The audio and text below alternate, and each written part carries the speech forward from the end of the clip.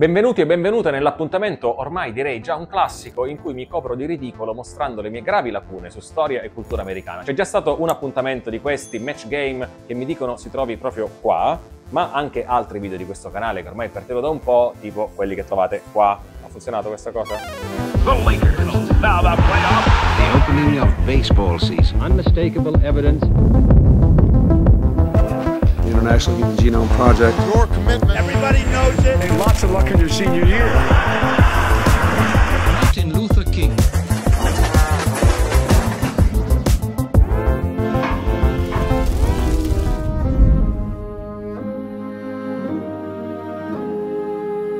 Mentre la scorsa volta stavo cercando di individuare e di indovinare da singole immagini degli stati americani, cercherò di indovinare dei presidenti americani. Io non ho mai visto le immagini che adesso vedremo insieme e quindi da questa immagine boh, proverò a risalire al presidente in questione. Partiamo con la prima. Dunque, non conosco quest'opera e questo quadro, e qui forse potrebbe esserci già, diciamo, la prima grave lacuna, però le bandiere ci mostrano che questa è la guerra di secessione. Da una parte abbiamo le bandiere degli Stati Uniti, dall'altra la famosa famigerata bandiera confederata, e quindi questa è una scena della guerra di secessione, una battaglia, la più importante e famosa fu quella di Gettysburg, non so se sia proprio questa, il presidente è Abraham Lincoln, che era il presidente degli Stati Uniti durante la guerra di secessione, guerra che fu dichiarata dagli stati del sud che temevano che quelli del nord volessero abolire la schiavitù, quelli del nord però non volevano che il paese si separasse anche per ragioni economiche e soprattutto volevano che la schiavitù fosse sempre più regolata fino a magari eliminarla Durante la guerra di secessione le truppe del presidente Lincoln e il presidente Lincoln non solo ottennero delle grandi vittorie, ma di fatto maturarono la convinzione che fossero maturi i tempi in quel momento per abolire la schiavitù. E nel discorso famoso di Gettysburg, non so se è quello di questa battaglia, il presidente Lincoln fa questo discorso brevissimo, sono tipo 12 righe e dice in sostanza noi non possiamo limitarci a vincere questa guerra per evitare la secessione, cioè che un pezzo di America si stacchi, noi questa guerra la vinciamo davvero se restituiamo un governo che sia un governo per tutte le persone americane, quindi inteso anche per gli schiavi. Questo è il presidente Roosevelt e Franklin Delano Roosevelt, poi c'era anche Theodore Roosevelt. For a New Deal, New Deal era il nome delle riforme che contribuirono a far uscire gli Stati Uniti dalla gravissima crisi economica del 29. Ho un aneddoto su Theodore Roosevelt, l'altro, però me lo gioco adesso, magari poi esce dopo Theodore Roosevelt. Theodore Roosevelt, l'altro Roosevelt, si riconosce e si ricorda più facilmente intanto perché, al contrario di Franklin Delano Roosevelt, è uno dei quattro che sta sul Monte Rushmore, no? Sapete il Monte Rushmore? Si chiamava Theodore, soprannominato Teddy, e questo è il motivo per cui ancora oggi in America si parla di Teddy Bear quando si parla degli orsacchiotti, perché Theodore Roosevelt era un appassionato di caccia, la leggenda vuole che una volta si trovò davanti un cucciolo di orso, lui preferì non ucciderlo e quindi tornare a casa a mani vuote, cosa piuttosto umiliante. La bontà di Theodore Roosevelt, di Teddy Roosevelt, fece sì che gli americani gli orsi, gli orsetti li chiamassero Teddy Bear e ancora oggi gli orsetti di peluche si chiamano in inglese Teddy Bear. Mi sono giocato questo aneddoto supplementare per compensare al presidente che inevitabilmente non saprò. Questo chi è? Dallas Police, questo è l'uomo che ha ucciso John Fitzgerald Kennedy, suppongo. Mm, sì, dai, meno male. Lee Harvey Oswald, che uccise Kennedy nel novembre del 63? 64? 63, credo. 63. Lo uccise sparando dal quarto piano di una libreria che dava su una strada su cui il presidente Kennedy sarebbe passato con la sua macchina presidenziale. Fu trovato poco dopo, fu arrestato e fu anche ucciso in realtà qualche giorno dopo mentre la polizia lo portava, lo trasferiva da un commissariato a un altro, eh, un uomo molto agitato e turbato dall'assassinio di Kennedy riuscì ad avvicinarsi a lui e gli sparò. E queste immagini peraltro sono disponibili, sono pubbliche perché la polizia aveva organizzato una passeggiata piuttosto spettacolare, diciamo, a favore dei media per mostrare, vedete, l'abbiamo preso, l'abbiamo arrestato e fu in quella circostanza che Lee Harvey Oswald fu ucciso. Allora, questo credo proprio che sia, ma di questo devo dare il merito se riconosco questa foto al direttore del posto Luca Sofri che è molto appassionato di questo luogo che è il Watergate. Watergate è un complesso residenziale di Washington DC. Watergate porta sull'acqua perché è messo sul Potomac che è il fiume che attraversa Washington, lo vedete già qui nella foto. In questo complesso residenziale, durante l'amministrazione Nixon, c'erano degli uffici del Partito Democratico e qualcuno si infiltrò in questi uffici per posizionare delle cimici no? e intercettare le conversazioni, per rubare dei documenti. Vennero scoperte queste persone. Fu chiaro dopo un po' che queste persone lavoravano per conto di qualcuno alla Casa Bianca, forse per conto del presidente Nixon. Nacque da qui il caso Watergate che poi portò alle dimissioni di Nixon, il primo presidente americano di sempre, l'unico finora a essersi dimesso nel corso del suo mandato.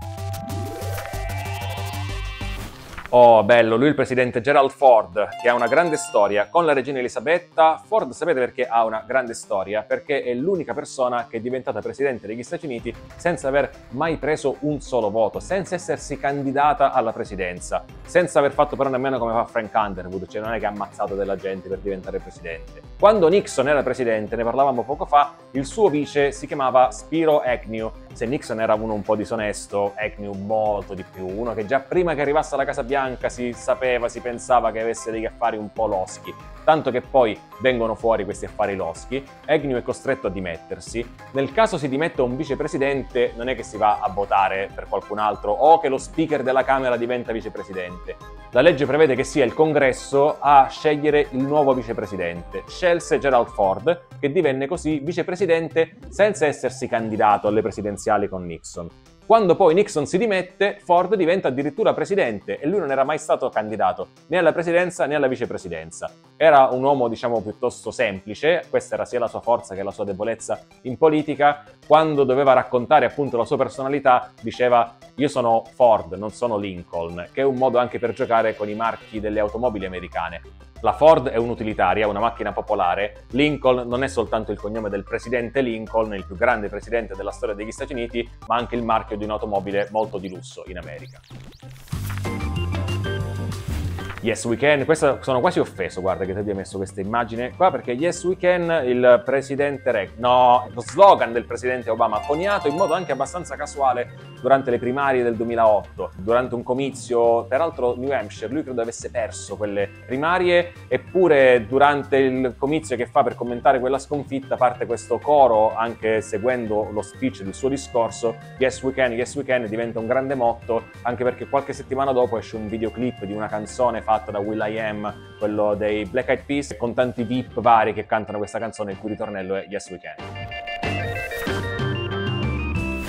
Caspita, questa non si può sbagliare. Questo è New York, l'11 settembre del 2001. Sono gli attentati alle Torri Gemelle di New York, parte dei più ampi attentati di quel giorno anche in altri posti degli Stati Uniti.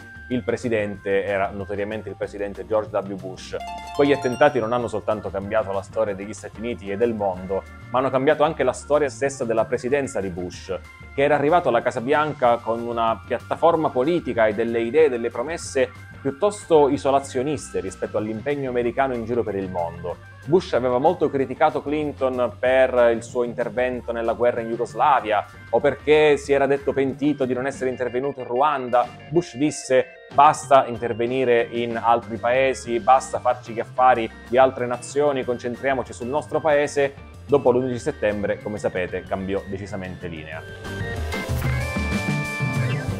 Allora, lui è Eisenhower, giusto? Eh, generale del, dell'esercito, immagino durante la seconda guerra mondiale. Eh, di Eisenhower però non so moltissimo in termini di aneddoti, se non che il suo nome, soprannome era Ike e quindi un suo slogan piuttosto popolare quando era candidato era I like Ike. We the people of the United States, eccetera, eccetera, eccetera. Questa è la Costituzione, il preambolo della Costituzione, perché poi ci sono i vari articoli, questo è il preambolo della Costituzione, chi era il presidente americano quando si firmò la Costituzione americana era naturalmente George Washington, e con lui c'erano tra i vari padri fondatori altri che sarebbero poi diventati presidenti, Madison, Adams per esempio e non solo. Questo è un fungo atomico che associamo tristemente alle parti finali della seconda guerra mondiale. Il presidente americano che scelse di lanciare le due bombe atomiche sul Giappone, su Hiroshima e Nagasaki, fu il presidente Truman. Mazza, qui se sbagliavo la mia professoressa di storia mi uccideva. Presidente Truman. Li beccati tutti? Li beccati tutti, ragazzi. Allora, lui lo so non solo perché fu il cane degli Obama, eh, è morto peraltro, si chiamava Bo questo cane, eh, c'era tutta questa gag durante la campagna presidenziale degli Obama per cui le figlie di Barack e Michelle Obama avrebbero moltissimo voluto un cane, ma fino a quel momento i loro genitori gli avevano detto scordatevelo, non possiamo permetterci un cane, chi lo accudisce poi eccetera. Quando poi è cominciata la campagna elettorale, anche per far accettare alle ragazze diciamo l'assenza del padre e anche della madre, tutti questi viaggi in giro, la loro vita pure fu travolta da quella campagna elettorale, gli dissero se vinciamo le elezioni vi prendiamo un cane alla Casa Bianca. Solo che per ragioni diciamo di allergie poi non è stato facile scegliere questo cane, quello lì è un cane che per il tipo di razza va bene per le persone che hanno allergie verso il pelo dei cani e quindi Bo fu il cane della famiglia Obama, il primo cane della famiglia Obama alla Casa Bianca, poi ci fu anche una cagnetta se non sbaglio della stessa razza, Bo dalle iniziali Barack Obama. Non risponde, basta, mi indigna. Sapete che avevo questo cappellino Make America Great Again, comprato diciamo durante la convention del Partito Repubblicano del 2016, cappellino reso noto da Donald Trump, però è mentre altre cose posso anche andarci in giro, no? con la maglietta di un candidato anche un po' vintage, andare in giro col cappellino di Trump non è sempre visto come un gesto da appassionato di politica americana o come un gesto ironico, quindi sta diciamo nella cassaforte dei cimeli e sta lì.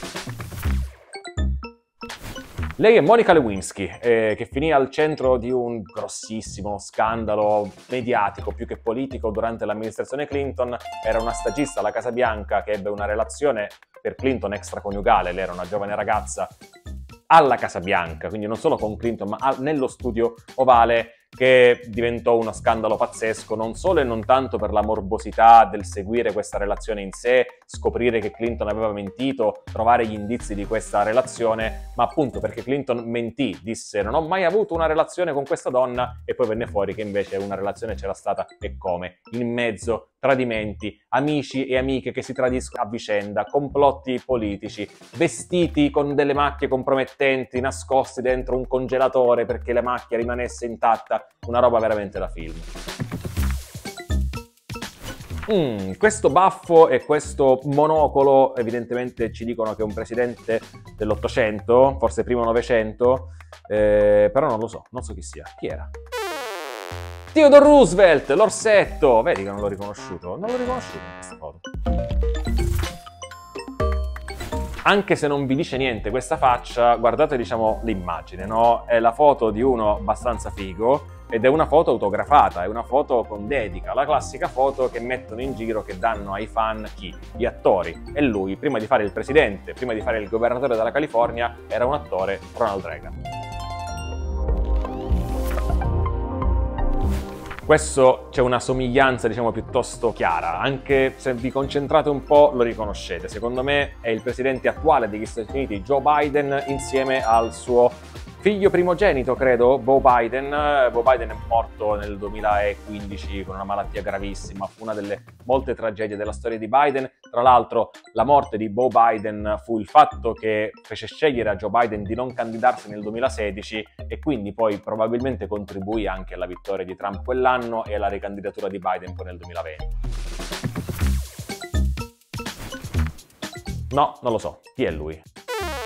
Buchanan, eh, non, non, è che non sappia nulla di, di, Buchanan, no, mi ricordo che diversi storici lo considerano uno dei peggiori presidenti americani eh, e il fatto che io effettivamente non sappia molto di lui, non che lo qualifichi come tale, però evidentemente non ha lasciato proprio un grande segno nella storia del paese. Adesso già mi vedo tutti i professori di storia che nei commenti mi insultano, fate pure.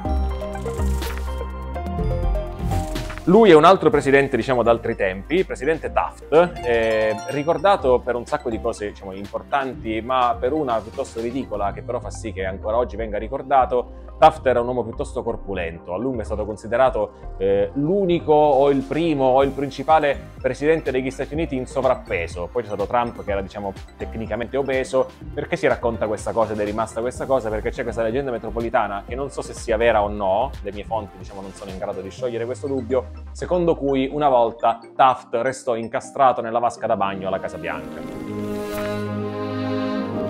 Bonus, ne parlavamo prima, questo è il Monte Rushmore, eh, ci sono un po' di storie su questa montagna in cui sono stati scolpiti i volti di quattro importanti presidenti americani, che sono Washington, Lincoln, che vedete dall'altra parte, Roosevelt, Theodore, di cui parlavamo prima, e l'altro che credo sia Jefferson. Attenzione, Jefferson.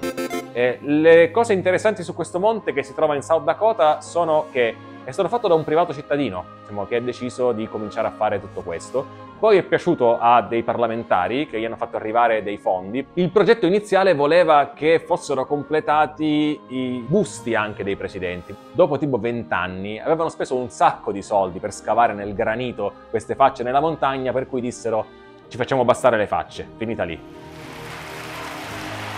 Me la sono cavata spero meglio del previsto, ne ho sbagliati due, tutte le altre l'ho beccate. Voi come ve la siete cavata? Se volete scrivetelo nei commenti, se volete potete giocare anche al precedente match game, ce ne saranno altri in futuro. Ricordatevi che su questo canale, oltre a questi video un po' buffi, ma che sono un pretesto per raccontarvi poi delle cose, ce ne sono degli altri in cui racconto delle cose senza che mi renda ridicolo, magari possono piacervi anche quelli. Andate sul canale, iscrivetevi alla campanella, iscrivetevi alla campanella.